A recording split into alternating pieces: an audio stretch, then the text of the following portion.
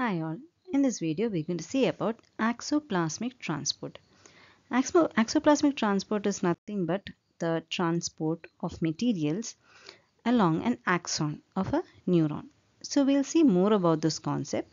So by definition, axoplasmic transport is a movement of proteins, organelles and other materials along the axon.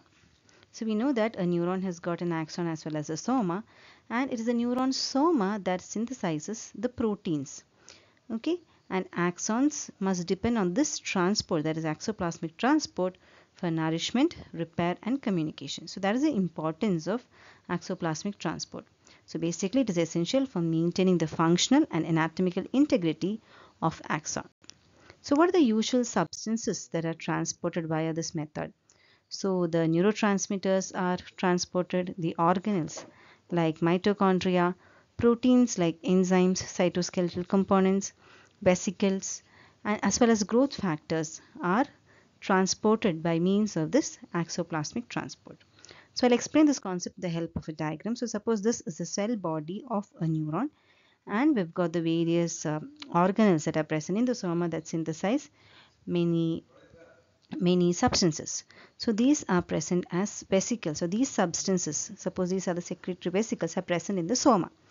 Now these have to be transported to the axon. So for that it is the microtubules that act as tracks or guide wires for the transport and this is actually transported by uh, special mo molecular motors called kinesin. So see this is how the you can see that this is the kinesin which transports this secretory molecule here like this okay so that it can it is transported from the soma to the other parts of the axon.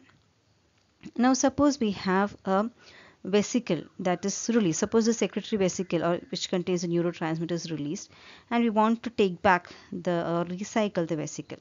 Then we have another molecular motor that is involved for this. So here suppose this is a recycled membrane vesicle.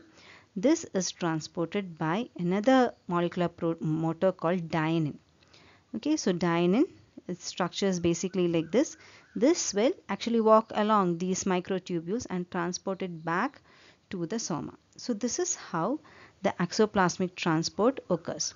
So this movement that is from the soma to the uh, axon that is called anterograde transport. It is called anterograde transport. And the reverse one which uh, moves from the axon to the soma that is called retrograde transport so axoplasmic tra transport can be of two types, anterograde transport as well as retrograde transport. So we'll see about each one by one. Anterograde or orthograde transport means the movement is from the soma to the axon terminals. It is mainly uh, carried out via on the microtubules using kinesin as the main motor. And we've got two types one is the fast anterograde. So based on the speed of this anterograde transport, we can divide into two. The fast anterograde means its speed is around 400 millimeters per day. And usually membrane bound organelles, vesicles and mitochondria are transported by this method.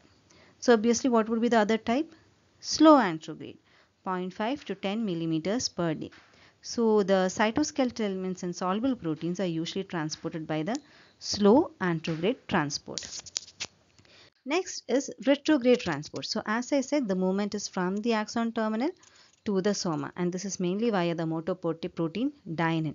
And here the speed is around 200 millimeters per day.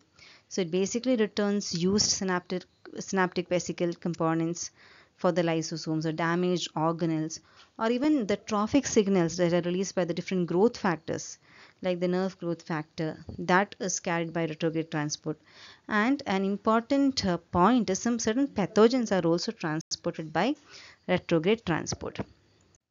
So what is the clinical relevance of knowing this axoplasmic transport? As I said, certain pathogens like viruses use a retrograde transport like the varicella, the herpes zoster uh, virus which causes shingles as well as the rabies virus. They also move in a retrograde transport. Then we've got certain toxins like the tetanus toxin which acts in a retrograde fashion.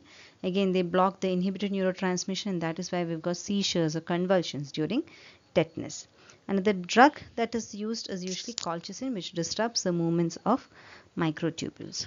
So in a nutshell, when a short note on axoplasmic transport is asked, you can write the definition, the substances transported, the types, the anterograde and retrograde as well as the clinical relevance. So I hope this concept is clear. Thank you.